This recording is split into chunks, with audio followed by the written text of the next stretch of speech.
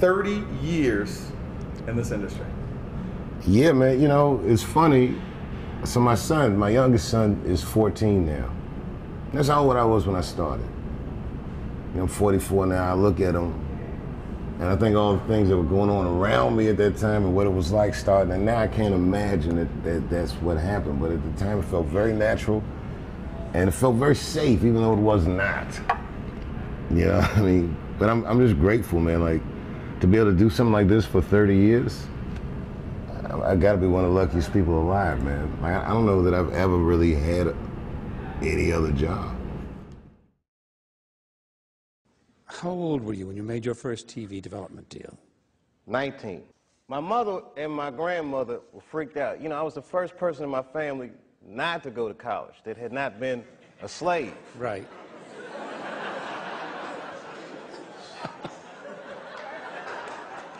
So I was really breaking from tradition, and uh, it was like a graduation lunch we were having, and they had my dad come and talk to me, and my dad takes me outside, and he's like, listen, and this is some advice that applies to all you acting students. He says, to be an actor is a lonely life. Everybody wants to make it, and you might not make it. And I said to my dad, well, well that depends on what making it is, Dad. Smart, smart ass kid. Yeah. Depends on what making it is there. He says, what do you mean? I said, well, you're a teacher. I said, if I could make a teacher salary doing comedy, I think that's better than being a teacher. And he started laughing. He said, if you keep that attitude, I think you should go. He said, but name your price in the beginning. If it ever gets more expensive than the price you named, get out of there. Mm-hmm. Thus, Africa.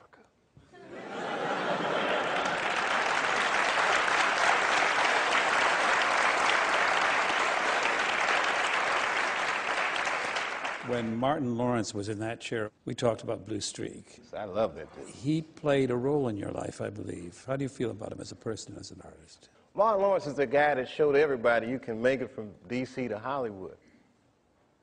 And uh, I had a personal stake in his success. Every time he did something, it made me feel inspired and really good. And he was always real nice to me. He'd sit me down, what's going on with you, baby boy? What, what? We'd talk about comedy, whatever. And, uh, you know, when we did Blue Streak, we were promoting it, and Martin had a stroke. He almost died. And then after that, I saw him, and I was like, oh my God, Martin, are you okay? And he said, I got the best sleep I ever got in my life. That's how tough he is. So let me ask you this What is happening in Hollywood that a guy that tough will be on the street waving a gun, screaming, they are trying to kill me? Yeah. What's going on? Why is Dave Chappelle going to Africa? Why does Mariah Carey make a $100 million deal and take her clothes off on TRL? It, a weak person cannot get to sit here and talk to you. Ain't no weak people talking to you. So what is happening in Hollywood? Nobody knows. The worst thing to call somebody is crazy, is dismissive. I don't understand this person, so they're crazy. That's bullshit. These people are not crazy. They're strong people. Maybe the environment is a little sick.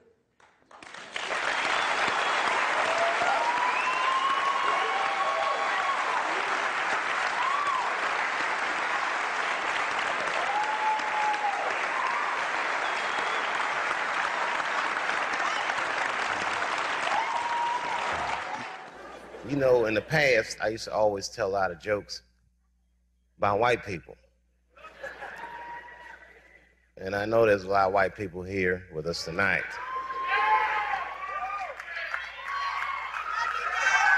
Good evening, whites. Everybody knows what it's like to be embarrassed or to be felt marginalized. The implication is authority. Nobody likes authority figures. When I say jokes about white people, don't think for a second that I'm talking about you.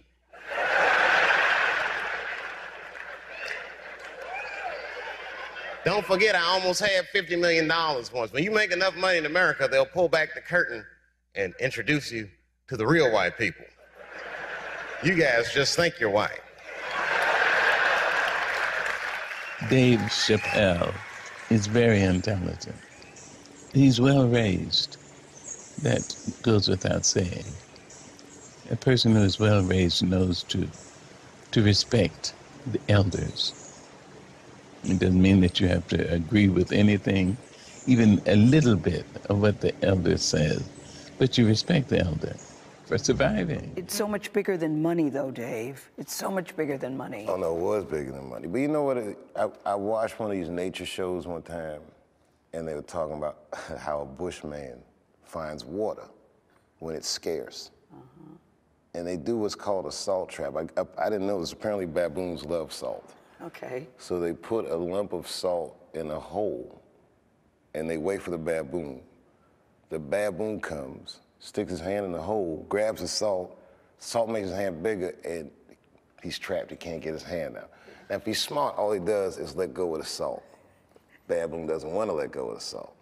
Then the bushman just comes, takes the baboon, throws him in the cage, and gives him all the salt he wants. And then the baboon gets thirsty. The bushman lets him out of the cage. The first place the baboon runs to is water. Bushman follows him, and they both drink to their fill. And in that analogy, I felt like the baboon. But I was smart enough to let go of the salt. Well, veteran of comedy, people look to you to kind of clear the fog that we as Americans go through. Do you? I know you take that seriously, but is that a big burden on you that people look to you for clarity? They look for you for truth. I think that it's a symptom of just how maybe bankrupt our society is right now. That we that we're looking to our entertainers for this type of guidance. But when things are obscure, artists do try to tell the truth. Sometimes it's not that they're looking for the truth. Sometimes they just want to hear their truth come out of somebody else. Like why don't you know what I mean? So I don't I don't look at it as a burden or I don't even look at it as a responsibility. I just think it's the nature of the genre. And I think that one of the things that's special about our genre in this day and age is that it's very engaging. It's very personal. And I think in this cyberspace world that people need an entertainer that looks them in the eyes and says the things that they, they feel. For all the things that I've done, I'm most renowned for what I didn't do. I, I've made decisions in my career that a lot of people have called insane. 2004 had $50 million deal on the table, and in a crisis of conscience, flipped the table over and walked away. Went to South Africa. Everyone said I was running away from the money. That is not true. In fact, I still want that money.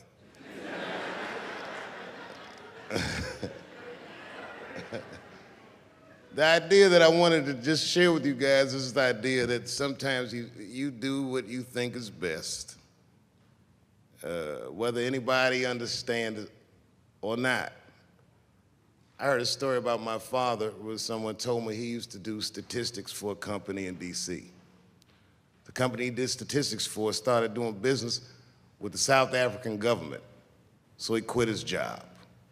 It's caused a lot of problems between his, him and his wife. It's hard for a man when he can't provide for his family the way he wants to, and he suffered through it. And a generation later, when I had my crisis of conscience, I was able to go to a free South Africa and get away from the heat. This idea that what you do in your lifetime informs the generations that comes after you is something I keep thinking about, something that is so much bigger than just ourselves. I just want, I just want, I just want you guys to remember, you know, that right now there's this thing where, where ethics aren't what they used to be. This idea that people are trying to replace the ideas of good and bad with better or worse and that is incorrect. You got to keep your ethics intact because uh, good and bad is a compass that helps you find the way. And a person that only does what's better or worse is the easiest type of person to control. They are a mouse in a maze that just finds the cheese. But the one who knows about good and bad will realize that he's in a maze. This is my last question for you. You don't do many sit down TV interviews. Why is that? Because because so much of an answer depends on how you feel any given day. But it lives forever. that your opinions about things can change, your view of yourself can change, and yet this is on a permanent record. Like Donald Trump, he complains about it because someone can look at him and say, well, you said in 1984 that this, that, or the other, and, and that's the cross you have to bear when you engage the press. And more important than that, I talk for a living, so I don't want to blather about me blathering. You know what I mean? I just want to, I'd rather just do it.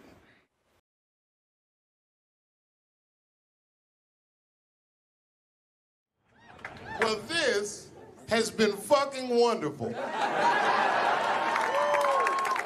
I don't know what to say, man. I don't even want this night to end.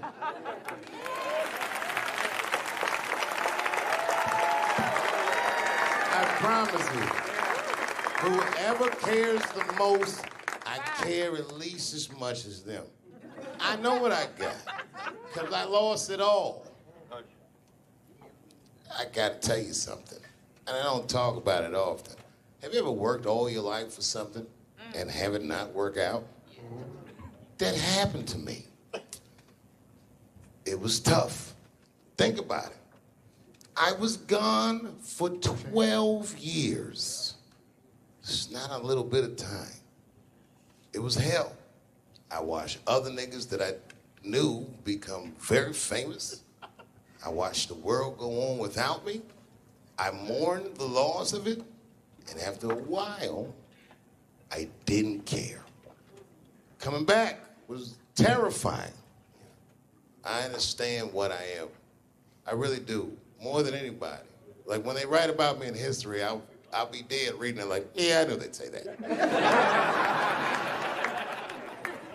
they say that a person can't dream of a face they've never seen.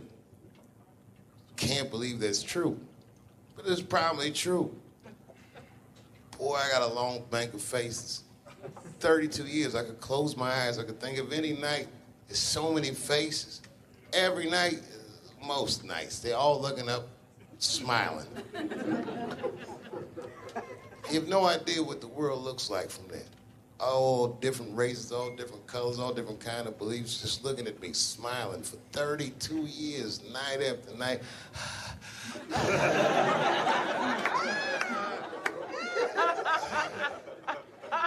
no comedian take that for granted. I swear to God, this might be the noblest of professions. Robin Williams had a bar that I loved. He said comedy is the only job you can have where you can use everything you know. And that's true. You can use more than you know. You use what you think. Use it. Don't be afraid. Don't let these bitch ass niggas button your lip. Say it anyway.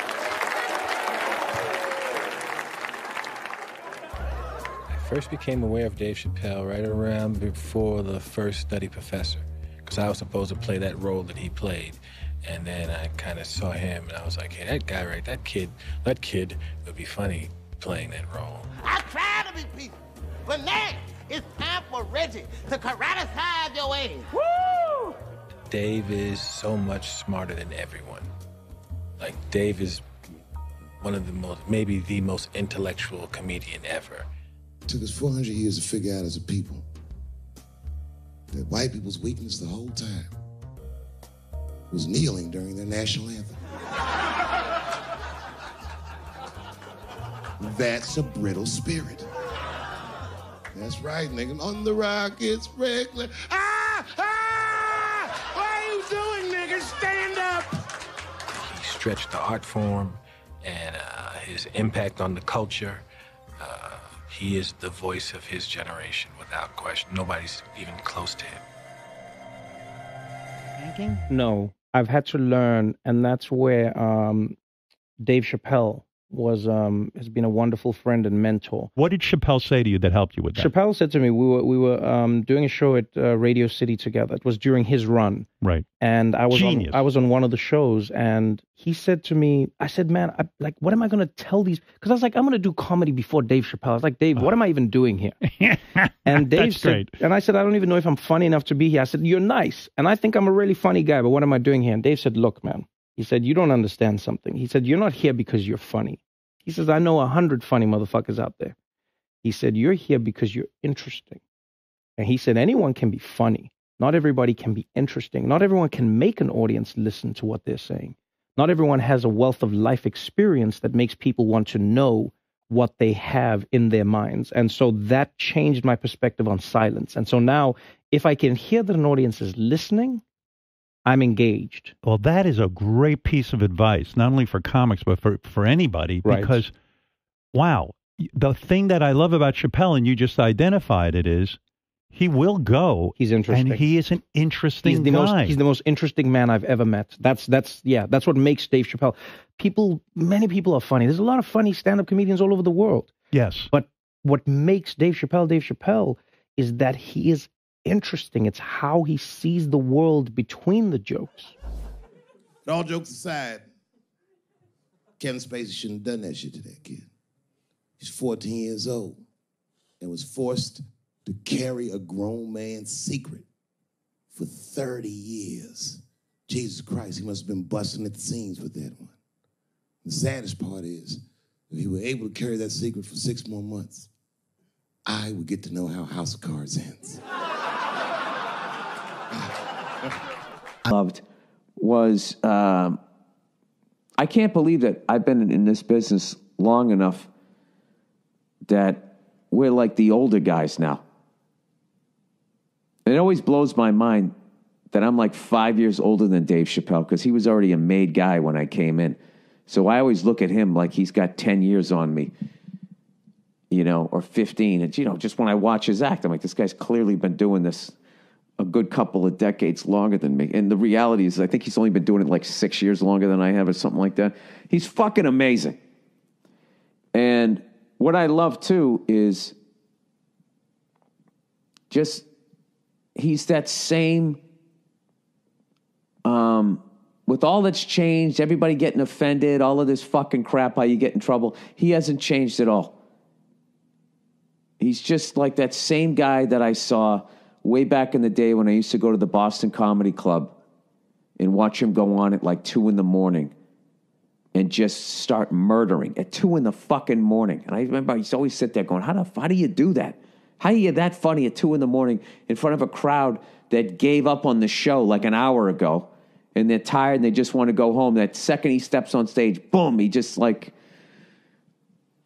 he just starts fucking killing. Dave's a beast. Dave's a beast, man. That's the only man, only man that puts a little fear in my heart. I'm like, okay, It's real. what's he doing? Do you watch him? Do you oh, watch him? more? totally. You study. Totally, totally. I got the, I got, I got Chappelle. I got an app. I follow him. I'm like, you know, my man P- Prince Paul always says, competition keeps you in condition. True. You know, so yeah, that's that's my man right there. The other real special shout out I gotta make, because none of this would have been possible on any level uh, without this person, is my mother. Mom. My mother. Mom, mom, mom, mom. You have no idea what I put this woman through. If you had just given birth to me, that would have been more than enough. But the fact that she raised me and raised me well, we had a real oral tradition in our house. I knew the word griot when I was a little boy. A griot was a person in Africa who was charged with keeping the stories of the village. Everyone would tell a griot the stories and they would remember them all so that they could tell future generations. When they got old, they'd tell them to someone else. And they say in Africa, when a griot dies, it's like a library was burnt down. And my mother used to tell me before I ever thought about doing comedy, she said, You should be a griot. And she'd fill me with every story of black life. You know, she's educated in African American studies, and she would let me understand the context that I was being raised in. That I'm being raised in a hostile environment that I have to tame. By the time I was 14 years old, I was in nightclubs, mastering an adult world. It was terrifying. Crack epidemic was going on, and my mother would hear gunshots outside and be scared to death. Maybe it's my son. But early in my career, if you remember, Mom, you used to sit in the club with me. She'd do a full day of work. You'd be back there falling asleep, just waiting for me to go on. She would watch my show every night. Do you know how long that car ride is home?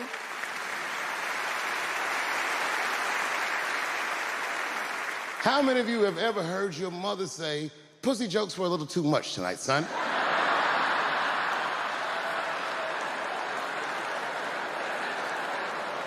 I was a soft kid. I was sensitive, I'd cry easy, and I would be scared to fist fight. And my mother used to tell me this thing, I don't even know if you remember, but you said this to me more than once. You said, son, sometimes you have to be a lion so you can be the lamb you really are.